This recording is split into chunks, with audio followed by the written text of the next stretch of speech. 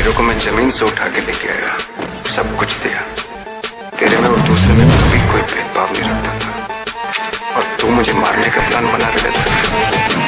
अच्छा। तेरे से बात नहीं करना।